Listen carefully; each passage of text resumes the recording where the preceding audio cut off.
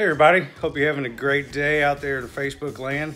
Just want to share a little story with you guys today about, uh, you know, taking yourself a little too seriously in life. So I went to CrossFit just now, had a great workout, crushed it, and did a little stretching afterwards, you know, laid on the mat, rolled on the ball, you know, stretching out my muscles and whatnot. So anyways, so I got up, walking out, feeling good, and it wasn't until I got home that I realized there's something a little odd about me. You guys already know there's something a little odd about me, but check this out.